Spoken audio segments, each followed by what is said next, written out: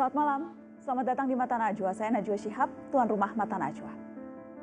Lonjakan jumlah pasien positif jadi pertanda pandemi corona sudah benar-benar tiba. Jangan ada lagi pejabat yang doyan mengentengkan dua bulan kita kenyang dengan kelakar meremehkan. Memang tidak mudah mengambil keputusan yang sulit, tapi kondisi dari waktu ke waktu semakin menjepit. Sekedar himbauan terbukti tidak berjalan di lapangan. Paket lengkap kebijakan amat ditunggu semua lapisan. Bukankah opsi-opsi sudah terpampang di depan mata? Pertimbangan apa yang sedang dihitung oleh negara? Inilah Mata Najwa. Stop Corona.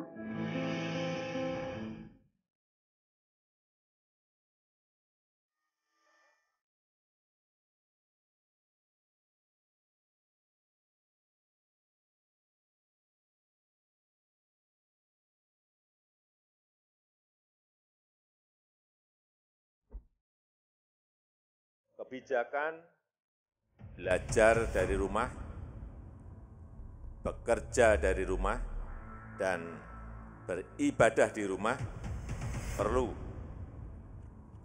terus untuk kita gencarkan untuk mengurangi tingkat penyebaran COVID-19.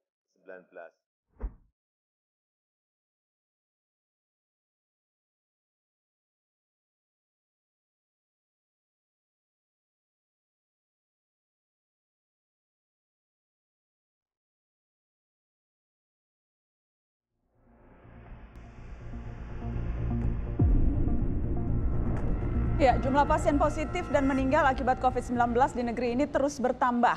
Hingga sore tadi tercatat 19 orang meninggal dunia dan 227 kasus dinyatakan positif corona. Virus yang menyebar begitu cepat. Desakan agar pemerintah bertindak taktis juga terus menguat. Sebagai upaya untuk mencegah penyebaran virus corona, malam ini Mata Najwa agak berbeda karena saya sendirian di studio. Jauh-jauh hari kami menginformasikan bahwa malam ini Mata Najwa tanpa penonton di studio. Narasumber, tamu-tamu saya juga hadir jarak jauh langsung dari berbagai titik masing-masing. Saya akan langsung sapa, ada Anis Hidayah, anggota Koalisi Masyarakat Sipil, ada Dr. Aman Bakti Pulungan, Ketua Ikatan Dokter Anak Indonesia, dan ada Abed Nego Tarigan, mewakili KSP yang menjadi anggota gugus tugas penanganan Corona. Selamat malam Dr. Aman, selamat malam Mas uh, uh, Nego, selamat malam Mbak Anis. Uh, malam, Assalamualaikum warahmatullahi wabarakatuh. Waalaikumsalam warahmatullahi wabarakatuh. Terima kasih sudah bergabung di Mata Najwa jarak jauh. Saya ingin ke Dokter Aman dulu. Dokter, angka-angkanya 227 kasus, 19 kematian dan ini dalam dua minggu. Baru awal bulan ada dua kasus, sekarang langsung naik menjadi 227 kasus. Angka kematian kita 8,4 persen dok, dua kali lipat dari angka kematian dunia. Tertinggi di Asia. Apa yang Anda baca dari angka-angka ini? Uh, makasih Najwa. Yang pertama-tama uh, rasa duka kami yang sangat mendalam kepada semua saudara kita dan buat keluarganya yang meninggal, semua korban yang 19 dan salah satu juga itu adalah anak. Jadi sudah ada anak juga yang meninggal. Jadi bisa dibayangkan bagaimana keluarga itu menerimanya. Dan juga rasa sedih dan empati kami terhadap 200 yang lainnya itu. Nah, kita melihat peningkatannya ini sudah terlalu besar. Dari awal bulan 2, hanya kasus dua kasus, dan sekarang 200 lebih. Tidak ada statistik yang seperti ini. Dan sebetulnya secara statistik kita juga sulit membaca ataupun memprediksi karena datanya ini tidak transparan. Nah, harus dilakukan sesegera mungkin, sedini mungkin, dan secepat mungkin. Tetapi kami para dokter saat ini saya bisa katakan kamilah saat ini tentara pasukan khusus untuk perang ini. Ketua BNPB, komandan perangnya pasukannya itu pasukan khasnya kami. Masalahnya musuhnya kami tidak tahu berapa jumlah musuh. Kami tidak bisa melihat musuhnya di mana pun sekarang pada saat ini. Dan Dok. yang kedua, kami tidak dikasih senjata yang lengkap. Inilah perang yang harus kami lakukan. Dokter. semua dokter dan tenaga kesehatan yang ada. Ini Dok- dulu saya bisa sampaikan. Dokter Aman, ketika tadi Anda bilang datanya tidak transparan, data yang seperti apa? Karena kan setiap hari kita lihat ada konvensi pers menyebutkan jumlah yang meninggal, jumlah yang positif, menyebutkan daerahnya di mana saja. Data apakah konvensi pers itu per- tidak cukup eh, terbuka atau angka-angkanya Anda ragukan atau bagaimana? Oke, begini. Jadi kita tidak meminta data itu dibuka ke publik si ini sakit, tidak. Tetapi kita sebagai dokter yang merawat, kita harus tahu dan real time. Sekarang ada namanya orang dalam pengawasan atau pasien dalam pengawasan atau suspek. Misalnya saya merawat satu pasien. Pasien ini pasien dalam pengawasan. Setelah itu pasien ini misalnya kita rujuk ke rumah sakit tempat rujukan yang ada. Setelah itu kita tidak tahu hasilnya. Nanti ada berapa orang nih semua yang terkait. Saya dengan teman saya, ahli radiologi, nanti ada ahli lab dan lain-lain semua aja dan perawat. Nah setelah itu mungkin tiga hari hasilnya kalau toh kita diberitahu. Jalanlah kita semua ini, kita bisa menjadi karier. Ini kan membahayakan jadinya. Dan Oke. kalau toh kita dikasih tahu, kita harus istirahat sekarang 14 hari. Tapi kita tidak tahu betul-betul saat ini. Dokter Aman, Anda dan teman-teman sejumlah ahli kesehatan memberikan detail tujuh rekomendasi ke pemerintah. Salah satu saya akan tunjukkan ke pemirsa supaya pemirsa juga tahu inilah rekomendasi yang diberikan eh, sejumlah ahli kesehatan resmi ini rekomendasinya. Salah satunya adalah screening masif. Jadi para ahli meminta agar dilakukan tes massal eh, dan masif.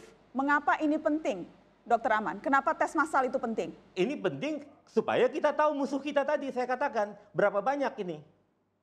Ini dilakukan di Korea. Tapi ternyata Ketua eh, Direktur Jenderal WHO mengatakan screening saja tidak cukup.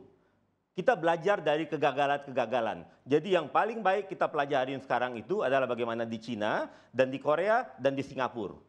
Cina ini karantina atau kalau tidak mau judulnya lockdown di karantina dan mereka screening juga masif dan setelah itu social distance atau penjagaan jarak sosial. Oke, dok, yang, yang jelas pemerintah lewat juru bicaranya Yu- eh, Pak Yuri mengatakan tidak perlu tes masif, masih bisa ditangani. Yang mau tes harus ada gejala dulu, yang sebelumnya harus diperiksa oleh dokter. Nah, sekarang siapa yang betul juru bicara atau Direktur Jenderal WHO? Kita ikut Direktur Jenderal WHO. Semua dokter di dunia ini, dok, Direktur Jenderal WHO, Dr. Tedros dia mengatakan kita itu ikutlah pengalaman. Direktur Jenderal melaku, eh, WHO mengatakan kita belajar dari kesalahan negara-negara pada saat yang awal-awal kejadian. Sudah ada contohnya. Kita tidak mau belajar masa. Oke, baik. Saya ingin ke Mbak Anis Hidayat. Mbak Anis Hidayat adalah anggota koalisi masyarakat sipil yang juga mengeluarkan statement yang cukup keras. Saya mendapatkan statement Anda dan teman-teman Mbak Anis yang judulnya kami butuh aksi konkret dan komprehensif negara. Apakah itu artinya Anda melihat saat ini langkah negara belum konkret dan belum komprehensif? Em, tentu kami mengapresiasi ini situasi sulit ya apa yang sudah dilakukan pemerintah, tapi ada beberapa catatan evaluatif dari koalisi masyarakat sipil untuk penanganan eh, COVID-19. Yang pertama adalah kita melihat bahwa eh, pemerintah belum sepenuhnya memfasilitasi kemudahan warga atau masyarakat untuk melakukan tes secara lebih eh, simpel gitu. Nah ini yang dibutuhkan, apalagi misalnya hari ini di DKI lebih dari 300 mereka yang menunggu. Laporan yang masuk ke koalisi misalnya juga memperlihatkan banyak sekali eh, teman-teman atau masyarakat yang eh, ingin melakukan tes sudah datang ke rumah sakit tetapi ditolak karena antrian mengular dan lain sebagainya. Ada mereka yang eh, sudah tes tetapi hasil tesnya lama, menunggu dalam kegelisahan.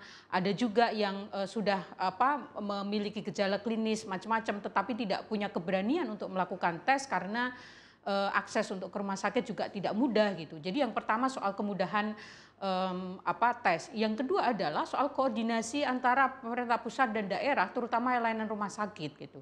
Jadi fasilitas rumah sakit di setiap rumah sakit kan juga berbeda gitu. Banyak juga yang eh, mengeluhkan karena kami juga melakukan pemantauan di beberapa rumah sakit itu memperlihatkan bahwa em, pasien tidak eh, tidak apa tidak eh, te- terlayani secara eh, baik karena juga ada em, keterbatasan resource atau eh, sumber daya gitu sehingga ini juga eh, menjadi catatan tersendiri bagi kami. Yang ketiga soal keterbukaan Mbak Nana. Jadi eh, angka ini sesungguhnya eh, berapa gitu dan jangan hanya mengatakan bahwa 19 yang meninggal.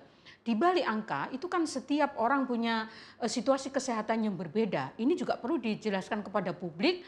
Um, adakah misalnya ada um, problem kesehatan yang lain misalnya selain corona gitu sehingga publik juga uh, dengan angka yang 8, uh, sekian persen dan itu tertinggi di Asia Tenggara ini juga memicu kepanikan publik yang makin uh, meningkat gitu. Sementara pencegahannya kami melihat dua minggu ini juga uh, tidak terlalu signifikan apa yang dilakukan oleh pemerintah gitu. Sehingga kami memang mendorong uh, beberapa hal tadi untuk segera dilakukan gitu, nyata dan itu um, untuk juga menekan angka-angka yang uh, terus uh, meningkat gitu. Baik, baik. Saya akan break. Setelah ini saya juga akan tanyakan ke uh, uh, Bapak Abed Nego Tarigan yang anggota gugus tugas COVID-19 mewakili KSP. Setelah pariwara kita akan kembali. Jangan ke mana-mana, tetap di Mata Najwa.